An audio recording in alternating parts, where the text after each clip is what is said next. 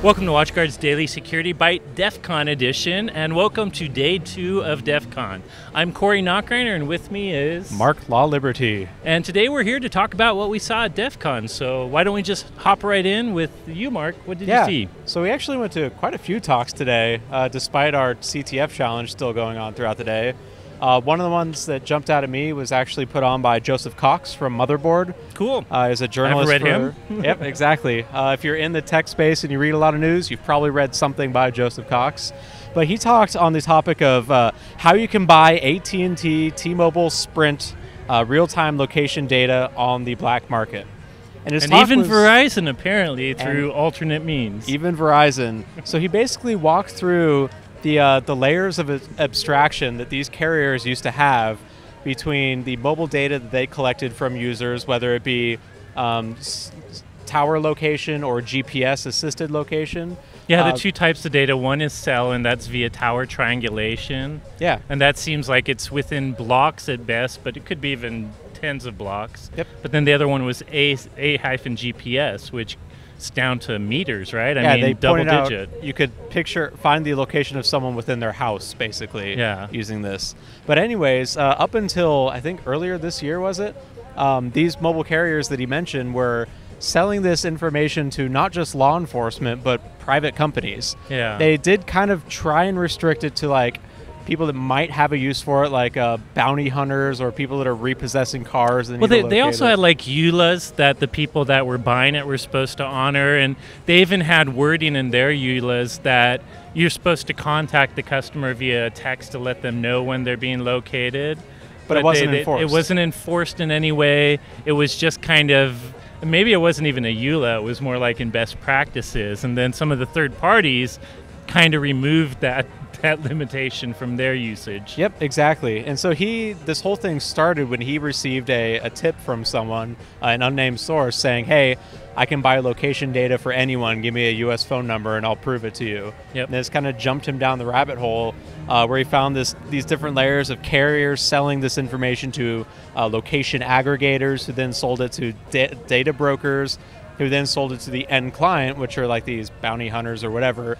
But then a second layer where these private organizations were turning around and selling that data on these like super nondescript hidden websites. Yeah. Like he mentioned one website where if you go to it, uh, it's bas- it has a old like like late 90s under construction sorry uh, we'll be here eventually thing but if you go to a specific page there's a login form where you can log into this website yeah. and he showed screenshots of administrator access where there were like 200 something companies that had access to yeah. basically request and pay for location lookups through this service, then through up all those channels to the original data carrier. And it's unclear. I mean, it, it, didn't sound like these bounty hunters always using the best way, but it's unclear if this like one site was entirely bad or if it was insiders. Like there were some admins that seemed to be reusing their admin credentials and kind of selling it. So it's hard to say if all those 250 bounty hunters misused it or if some just bad actor inside was reselling to the underground. Yep. And so they went through the whole journalistic process. This actually was a story from earlier this year. I think I mentioned. Yeah. Uh, they contacted them as of uh, a few months ago. AT&T, T-Mobile, Sprint said they're no longer selling people's data. Turns out Verizon uh, had stricter rules on this. Yeah, they always were a little better. In fact, they enforced on their end uh, notifying an individual when they were being tracked. And that's a key service. difference. I mean, some of the other carriers they would say you need to inform the person before doing it, but they left it up to the third party and to do it. Informing, they required active text. consent. yeah, yeah. Too. You'd have to send a text, and they'd have to say, "Yes, you can track me." Who would do that? exactly. But uh, like you say, Verizon was actually doing that on their end. There was supposed to be no way around it. Yep. So it was an interesting talk hearing about some of the shadier sides of the internet. I personally, I don't understand why they would ever think it's okay to sell this information to a private company in the first place, but whatever. Well, the Cox brought up all kinds of interesting things like. Uh, stalkers would be using this. You know, the bounty hunters, who knew what they sold it to, but it could be some stalker that could literally follow you and how real time it was seemed to be uh, have to do with how much you pay. You could ping all day long. They, they call these pings. You get a ping and it shows you a location. And if you did that, you know, continuously, you could follow a person all over the place. Yep. So really dang creepy. information. And I'm glad they're changing their practices. By the way, uh, obviously you should listen to the 443, the best podcast ever. But Motherboard does have a podcast, and they actually covered this. I'd, I'd heard a lot of this before on a podcast. Yeah. So how Yeah. about you? What talks did you see? So one of the interesting talks that I went to just for fun, I don't know how much practical stuff today you can really take away from it, but it was called Hacking Your Thoughts: Batman Forever meets Black Mirror. And it was given by a, a PhD researcher, someone that went to UW, by the way, Katherine Pratt, who now works somewhere else, and she goes by the alias GattaKat. And it basically has to do with, you know, I think you and I have talked about Neuralink, Elon Musk's company to get the brain computer interface. And brain computer interfaces, or BCIs, are becoming more and more realistic. Uh, so she talked about some of the privacy implications of that data. Now she started to talk by by kind of defudding how good brain computer interfaces are. Uh, we're not at the point, you know, the evasive ones that Musk Musk recently had a talk showing some of the Neuralink research where they actually inserted things in rats' heads. Yeah. But uh, she says some of the, you know, that is a little too dangerous. You shouldn't do that yet. She uses the caps. The amount of data you can really get, it's not like people can read your thoughts yet. But they have done studies where, you know, they can have you. One of the studies was they had five different pieces of jewelry. They would ask a subject to steal one and hide it. But then later on, they would show pictures of all those pieces of jewelry while you had this BCI cap plugged into your head. And they could predict which one you had taken based on that. Interesting. Or, or guessing numbers. Uh, she did an untrained test where there's no training. They'd just get you to pick a number one from 10, and then they'd see if the computer could guess which one you picked.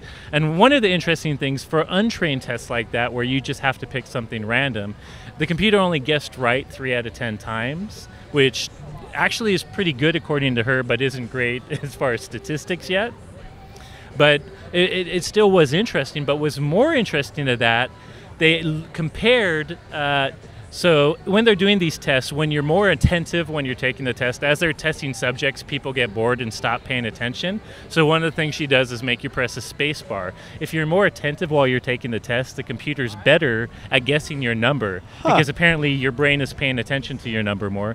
But another interesting thing, about six out of ten times, the next number the, the number the computer guessed that was wrong was predictively guessing the next number that you were going to choose. Oh, that's creepy. And that's because they, she theorized maybe you were thinking that you're, you're sick of being in this test, so you're thinking about the number to come next just to hurry it along. But, anyways, first she showed how it is possible for this brain computer interface to do stuff, including predictive information. It's still really early, so there's not much great there. But one day, this is going to be some serious information. I- Imagine, oh, sorry, go ahead. I'm not looking forward to the data breaches of Elon Musk's Neuralink or whatever that ends up with my thoughts on the She's dark like, web. if uh, maybe for video gaming, we hook this up to play video games, but then of course, micro payment game companies are going to put in like little pictures of different coffee logos in their games, and then they'll see which one that react we react to. Oh, Marc likes Starbucks coffee, and suddenly your game is going to get targeted advertising based on this subtle crap that's going on in your brain while you play a game. So she talked about that, and then she talked about some of the privacy laws and how nobody's covering BCI information and privacy yet. It's related to biometrics, and we really ought to think about that. So it's kind of interesting. I'm kind of interested in things like deep dive VR, so I'm interested in this Neuralink stuff. Interesting. Uh, but it does seem like it's. We need to think about the privacy implication now, but I think this technology is at least a decade away. yep. Uh, hopefully, we figure out that privacy implication sooner rather than later, though. Yep.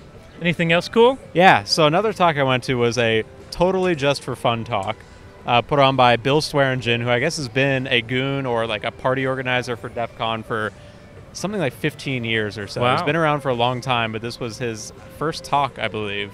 And he uh, his talk was titled "Hack the Police." Um, hack with a, a KC yeah. instead of CK because he's from Kansas City. Yeah. Uh, but really, his talk was all about uh, radar and speed gun and laser uh, speed gun detections. And so he started out his talk going over his history in the area, where I guess he, uh, as part of his previous history, he had developed a, a tool to abuse the MIRT, so the uh, mobile infrared uh, transmitter devices that uh, police cars and buses use to get green lights at uh, Cool. signs. Yeah, yeah. So they can change the lights. Turns out that's super illegal to mess with or even sell these days. Uh, so he kind of jumped off that bandwagon, and now he started looking at speed guns. And so he started out talking about radar speed guns and how they use the Doppler effect to predict how fast you are going. yeah. And you can jam that by sending out a signal at the exact right frequency for, like, saying, I'm going at 65 miles an hour, if you know the original frequency. But that's kind of dangerous too, right? He pointed out that is federally illegal, uh, regulated by the FCC, and on a federal level, it's a uh, like a fifty thousand dollar fine and five years in prison. Oh damn. Uh, if you're caught radar jamming.